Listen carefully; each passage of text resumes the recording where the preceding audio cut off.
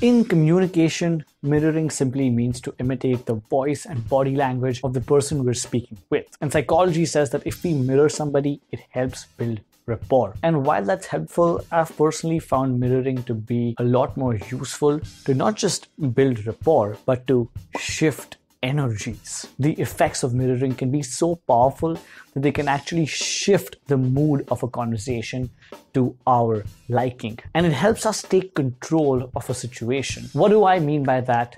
Let's get into it. The first thing to understand is that we already mirror people. When somebody yawns, we tend to yawn as well. When someone's in a high energy, we may tend to match it. And most importantly, if we spend a lot of time with somebody who we like or look up to, we might start imitating the way they speak, the way they walk, or the way they act in ways that we don't even recognize. But now it's all about making that subconscious act of mirroring something a lot more conscious. So let's go over a quick three step process that helps us mirror somebody, build rapport, and also shift the mood of a conversation to our liking. This is especially effective if you're giving an interview or are on a date and the conversation is not going where we want it to go. The other person is very closed off or probably not just in a good mood. Let's take the example of a social situation. Let's say you're out for dinner with a friend and she seems to be very closed off. Her body language is extremely tight, so her hands are closed off,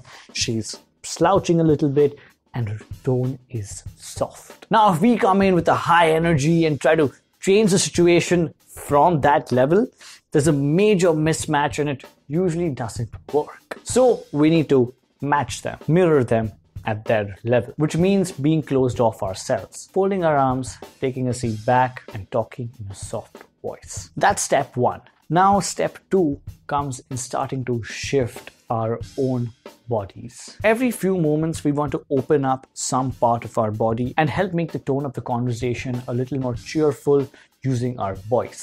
Now, this could mean us leaning in a little more, opening up our arms to expose our bodies to them, smiling every now and then, chuckling sometimes, and slowly talking in a more cheerful and happy tone. And the third step is that as we're making this shift, if we notice that they are responding, which means they are also leaning a little forward, they are also opening their bodies up, and they also seem to smile, chuckle, and raise their tone to a more cheerful voice, it means we've taken control of the situation. And the person we're speaking to does not even know that they are doing this. But that's the beauty of mirroring. The neuroscience of this has everything to do with the discovery of mirror neurons. And it shows us how we develop empathy. Again, in a lot of cases, this is not conscious, but it's just how our brains tend to work. As a caveat, if we start shifting our body and our tone and the other person's not responding, we need to take a step back, match their energy again, and try from there on. Now, of course, this does not work every time. These are not magic beans. These are simple, proven experiments that give us a higher chance of creating better rapport